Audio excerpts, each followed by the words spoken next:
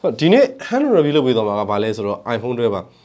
ပြောမယ်ဆိုရင် iPhone 12ကိုကင်လိုက်ချင်းပါပဲပေါ့နော် premium ပပဆက်ဆက်ဆန်နေဆိုတော့ feel ကိုရပါတယ်ပေါ့နော်ဟိုတခြား flagship level premium ဆန်တဲ့ brand တွေတော်တော်များများကျွန်တော်ကင်မှုရတယ်ဒါပေမဲ့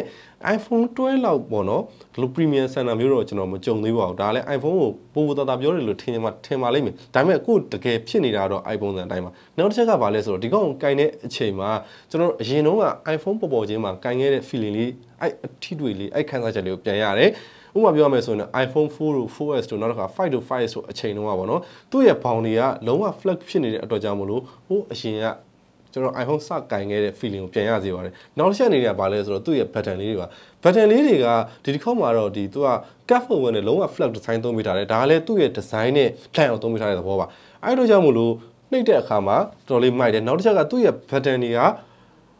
ဘေးပေါင်ပေါ်မှာတအားကြီးအများကြီးမထွက်ပေနဲ့ပပလေးပဲထွက်နေဆိုတဲ့အချက်ကိုလည်းသဘောကျတယ်ပြီးတော့ဒီ volume button လေးတွေပေါ့နော်ဆိုတော့ဒီတစ်ခါ iPhone တွေကတော့တော်လေးကိုမိုက်သွားပါတယ်ဆိုတော့အရင်တုန်းက iPhone 4G တဲ့နောက်တစ်ခါဒီ 4S တို့မှာတော့သူက button လေးတွေကို၄တောင်ပေါ်တော့အဝိုင်းလေးလုပ်ထားပြီးဒီတစ်ခါမှာတော့အဲ့လိုမျိုးပဲနေသူကကြပြလေးတွေလုပ်ပေးထားတယ်ဆိုတော့ဟာလေးကလည်းမိုက်ပါတယ်ဆိုတော့အရင်တုန်းကထွက်ခဲ့တဲ့ဒီ iPhone 11တို့11 Pro တို့မှာသူ့ရဲ့ဒီ button လေးတွေအဝိုင်းလေးတွေအဲ့ကောင်တွေနှိပ်ရတော့ကောင်းဒါပေမဲ့ဒီတစ်ခါ iPhone တွေရဲ့ဘတ်တန်လေးတွေကနှိမ့်ရတာပိုကောင်းတယ်လို့ပဲကျွန်တော်ထင်မိပါတယ်။ဘတ်တန်လေးနှိမ့်ကြည့်တဲ့အခါမှာလေ လုံးဝပေါ့နော်မမာလေးနဲ့နှိမ့်လို့ကောင်းတဲ့ feel ကိုရပါတယ်။ပြီးတော့ရင်လည်းဗာလဲဆိုတော့ display ဘက်မှာ display ဘက်မှာတော့တော်တော်လေးကိုသဘောကျစရာကောင်းပါတယ်ကျွန်တော် video ကြည့်တဲ့အခါတွေ game တွေကစားတဲ့အခါတွေမှာဆိုရင်သူ့မှာထွက်လာတဲ့အယောင်တွေကအယောင်တွေဆွဆွပြပြနဲ့ကိုတအားကိုကြည့်လို့ကောင်းတယ် လက်ရှိကျွန်တော်စမ်းကြည့်ရတဲ့လောက်ကလည်းအားရကြည့်နေမှုအပြည့်အဝရရှိတယ်လို့ပြောလို့ရပါတယ်။နောက်တစ်ချက်ကဘာလဲဆိုတော့သူ့ရဲ့ဒီ display ပါ။ဆိုတော့ဒီနေ့ display ကလုံးဝပါတော့သူဘေးမှာရှိတဲ့ဒီ backsel တွေချင်းတွေကတော်တော်လေးကိုတည်သွားပြီးတော့ full view နီးနီးဖြစ်သွားတယ်။အဲ့ဒီချက်ကတော့အကြိုက်ဆုံးတော့အရင်တော့ဆိုရင်ကျွန်တော်တို့ iPhone 11တို့နောက်တစ်ခါ iPhone 11 Pro တို့မှာဆိုရင်သူ့ရဲ့ဒီ backsel တွေကကြီးနေပြီးတဲ့ခါကျတော့ full view မရဘဲနဲ့ကြီးလိုက်တဲ့အချိန်မှာဆိုရင် ဘေးမှာဘောင်းတွေကန့်နေတယ်လို့မျိုးခံစားချက်ကိုရတယ်ဗျ။ဒီမှာတော့အဲ့လိုမဟုတ်တော့ဘဲနဲ့ full view နီးနီးဖြစ်သွားတဲ့ကြောင့်ကျွန်တော်တို့ video ကြည့်တဲ့အခါမျိုးတွေနောက်တော့ game ဆော့တဲ့အခါမျိုးတွေမှာဆိုရင်လုံးဝပေါ့နော် full view အစ်စ်ကိုရတယ်အဲ့ဒီချက်ကိုလည်းပို့ပြီးတော့သဘောကျပါတယ်နောက်တစ်ချက်ကတော့ဗာလဲဆိုတော့ performance performance ဘိုင်းမှာကဒီတစ်ခါ A14 Bionic chipset ကိုတော်လေးကိုသဘောကျပြီးပါတယ် game တွေမှာဆိုလဲတော်တော်လေးကိုမြင်သွားတယ်ကျွန်တော်တို့ loading ဘိုင်းတွေနောက်က LOL loading ဘိုင်းတွေမှာဆိုလဲတအားမြင်တယ်ဖွင့်လိုက်တာနဲ့နည်းနည်းလောက်ပဲကြာနည်းနည်းလောက်ပဲစောင့်ရတယ်ချက်ချင်းတက်သွားတယ်မျိုးတွေနောက်တစ်ခါ loading ဘိုင်းတွေမှာတအားမြင်သွားတယ် graphic ဘိုင်းတွေမှာပို့ပြီးတော့ smooth ဖြစ်လာတယ်ပို့ပြီးတော့ကောင်းလာတယ်ဆိုတော့အဲ့ကောင်လေးတော်တော်လေးကိုမိုက်ပါတယ်ဗောနော်တခြားရှိတာကကျွန်တော်ဂိမ်းတွေဆန်းဆိုးကြည့်တဲ့အနေထားမှာပေါ့နော်ဒီကောင်ဘာလဲဆိုတော့ဒီဆက်ကလေးနည်းနည်းပူတယ်ဗျ game ကိုဥမာအဲ့လိုတပွဲဆော့ကြည့်လိုက်တဲ့ graphic ကိုအမြင့်ဆုံးထားဆော့ကြည့်လိုက်တဲ့အနေထားမှာဒီဆက်ကလေးရပါတော့ကျွန်တော်ဒီဘက်နားလေးမှာပေါ့နော်အိုင်နားလေးကနည်းနည်းလေးပူတက်လာတာမျိုးကိုတွေ့ရတယ်ဆိုတော့ဒါကလည်းဆဆချင်းသုံးကြည့်တာများလာတော့မပြောတဲ့ဘောနော်နောက်ပိုင်းကျရင်ဘယ်လိုနေမလဲဆိုတော့အသေးစိတ်ကိုတော့တစ်ချက်တော့ပြန်ဆန်းရပါအောင်မယ်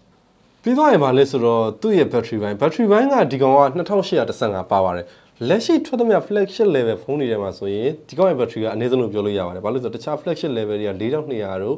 နောက်တစ်ခါ4500တို့သုံးတဲ့အချိန်မှာဒီကောင်က2815ပဲသုံးလာပြီတယ်။ဒါပေမဲ့လည်းသူ့ရဲ့2815က2800ပဲထားပါတော့ဗျာ။အဲ့ကောင်ကပေါ်ပေါ်လော်လော်တောင်းမို့ဆိုရင် short တော့လို့တော့မရဘူးဗျ။ဘာကြောင့်လဲဆိုတော့ကောင်းကောင်းကိုဒီကောင်က battery consumption ကိုကောင်းကောင်း handle လုပ်ပေးထားနိုင်တယ်။ A14 chipset နဲ့ နောက်တစ်ခါသူ့ရဲ့ iOS 14ကြောင့်မလို့သုံးရတဲ့နေရာမှာလုံးဝကိုမိုက်နေပါတယ်ကျွန်တော်မနက်ခင်း6နာရီလောက်ကနေစသုံးလိုက်တယ်